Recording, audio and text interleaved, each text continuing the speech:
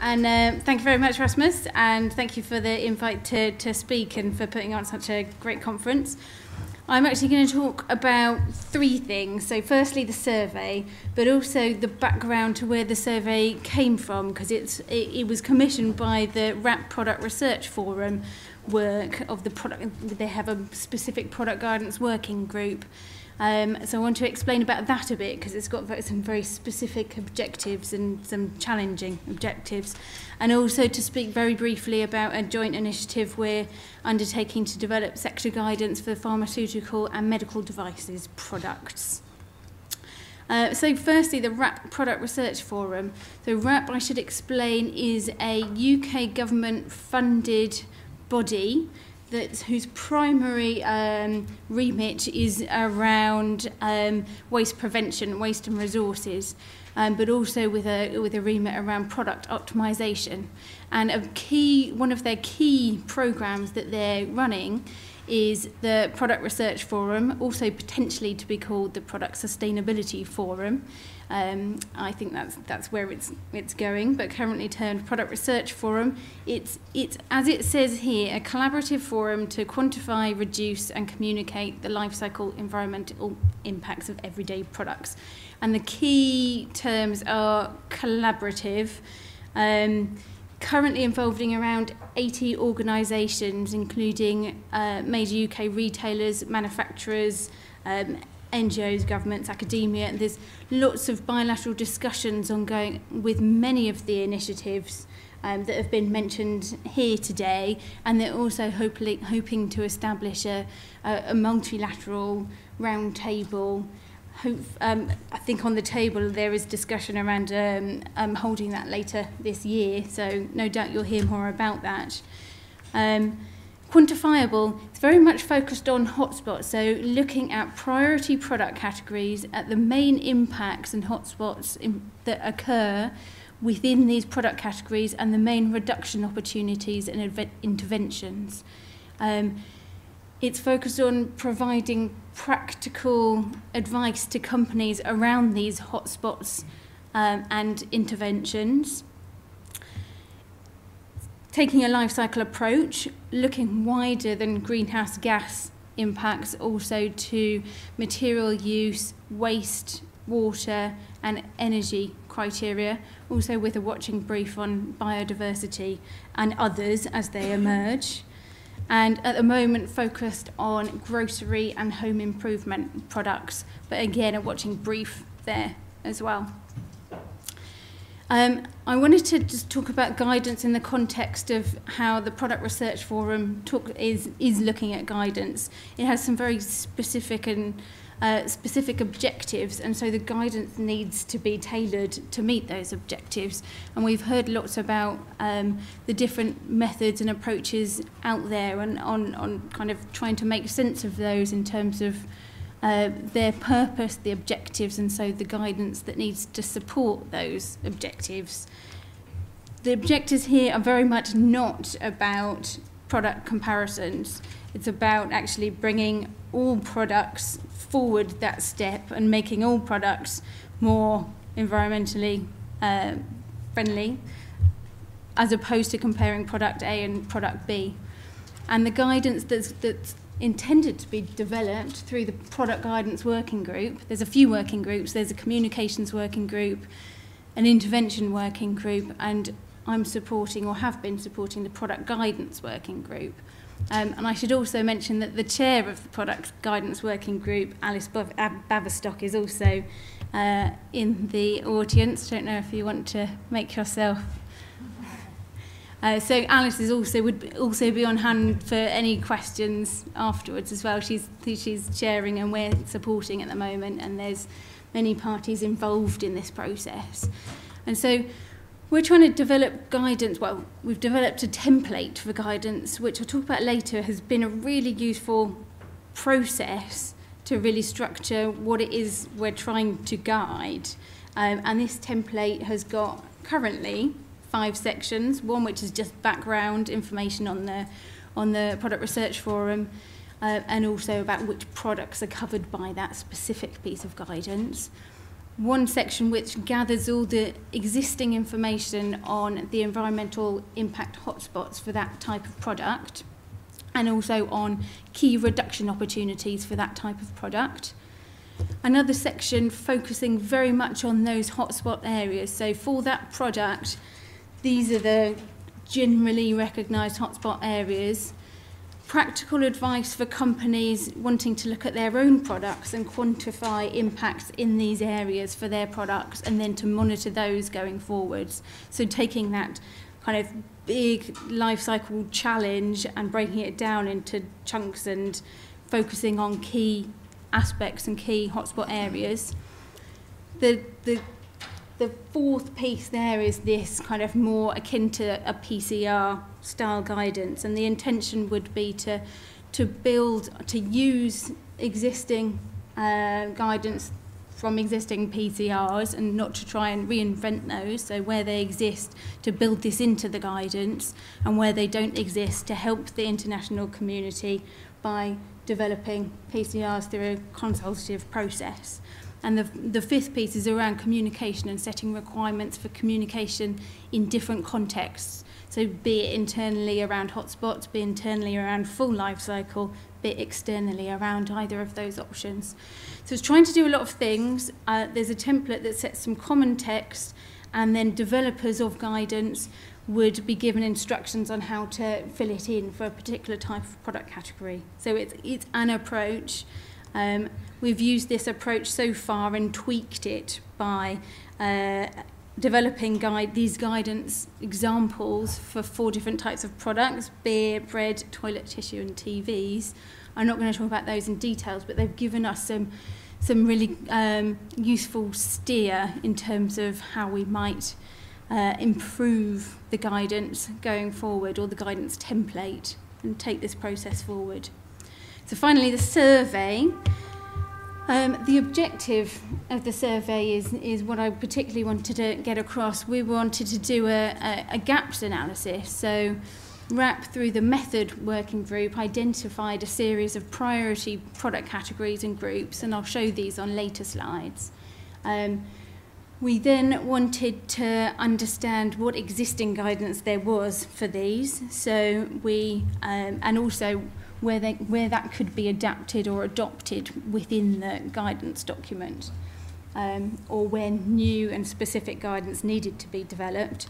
So we looked to um, a range of types of different scheme because, because the WRAP guidance is so broad in scope. So we looked to the type 3 EPD schemes and PCRs that have been developed through those.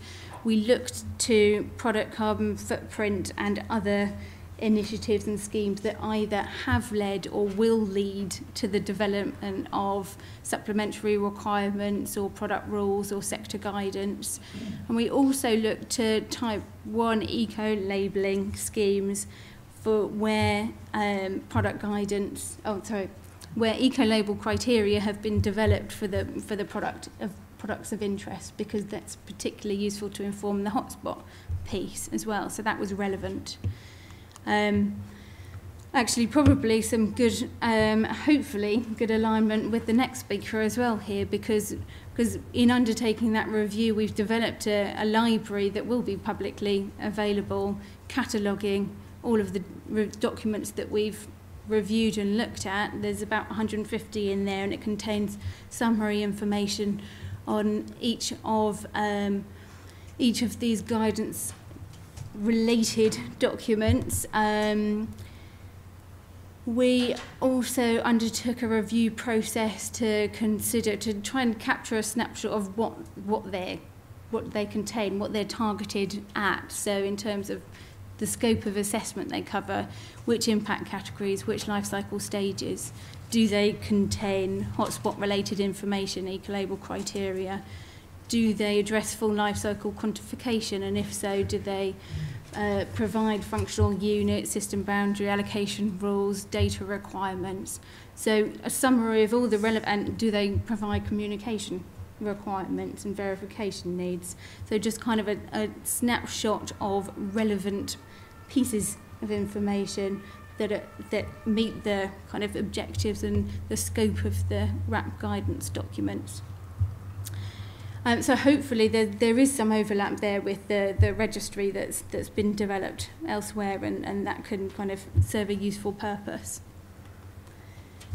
Um, a word on, I did forget to say actually in the last slide, the way that um, the classification scheme that's been used to categorise these, these guidance documents. And actually that's been quite a challenge and we spent quite a lot of time trying to get all the various different types of document into one centralised classification scheme. And the, the WRAP the WRAP product research forums using the global product classification system and the guidance and the intervention strategies and all of the supporting practical advice is aimed at the brick level. So I wasn't necessarily, uh, I wasn't aware of the term brick level, but in, in this context, so I've got an example there for laundry detergents, segment being cleaning hygiene products, family being cleaning products, class being laundry, and brick being laundry detergent. So it's a kind of a gr product group level. Um, and um, most other guidance documents either will be um, organise or categorise a higher level necessarily, because that might be the most appropriate level, or using a different uh, product classification scheme. So that was a challenge. Uh, some findings in terms of range. These are the priority product areas that have been identified by WRAP uh, in grocery and home improvement. Um, they, there is, there's lots of work being done behind these specific categories, and I don't have time to, to talk about that now.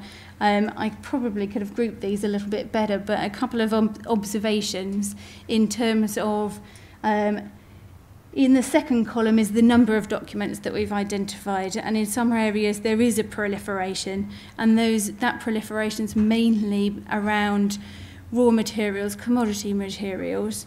And in other areas, there's no guidance documents whatsoever. And those kind of broadly around the processed products in the, in the grocery category I'm talking about now. Um, and that we, we might expect because you do need guidance on the, the building blocks, the raw materials, before we can move on to the processed products. And it kind of reflects where we are in the footprinting world. Um, there's also, I uh, just wanted to note that there's a lot of guidance at the kind of family and class level, um, but less so at the brick level, so less at the, at the product level that we specifically identified for these categories. Um, and that's a, that's a challenge for some. So like meat, you do really need to be getting specific, for example, but fruit and veg maybe, maybe less so if you can, if you can group things. Um, in home improvement, I'll just notice there is proliferation, um, but a lot of that actually is at the product-specific level, and a lot of that was around eco-label criteria. Um, particularly for uh, lots of appliances and there's also um, lots of cleaning chemicals and detergents and audiovisual equipment. I'm a little bit short on time, so I'm just rattling through this, and I do appreciate this has been a bit of a whistle-stop tour, so I will take any questions afterwards, and please do contact me afterwards, and there's on the, on the WRAP website, there's lots more information about the Product Research Forum. Um, but just from find some key findings and observations from my process going through this. Um, obviously, some areas are well covered and others are less so, as, as we might expect, and that's been part of a, a journey. Um, there has been some com conflicting uh, PCRs where there's proliferation in some some areas. I don't see that as necessarily insurmountable, and we're already seeing some discussions, for example, for milk, the International Dairy Federation and DairyCo talking to try and align a bit more on some of the requirements. Um, but fundamentally, the um, kind of the basis and the, the, the drivers will will will affect some of the detail in the PCRs, but the, the, the underlying methods are still relatively aligned. Um, we found the template approach very useful for rapid drafting and also for setting the tone and the level of detail required because I really do feel that you, you need to address your audience. And, we've seen a lot of examples of PCRs that just possibly won't lead to necessarily comparability because they are um, just not detailed enough or not really kind of talking to their audience quite enough in terms of level of uh, uh, uh, specific requirements or detail. And I should note that while we've gone ahead and developed some example guidance documents, the consultation element is um, massively important in terms of adoption and, and there will be a process to do so as part of the product research forum as that goes forward. And I've run out of time for the sector stuff, uh, the pharmaceutical stuff, but just to say this is ongoing. We're looking for stakeholder consultation. Um, it's been led by industry and by the NHS and um, it's sector guidance rather than product rules because that's where they feel they are in terms of being able to do that and being able to compare products. They don't think they're there yet. Um, so yeah, I'm going to have to cut that.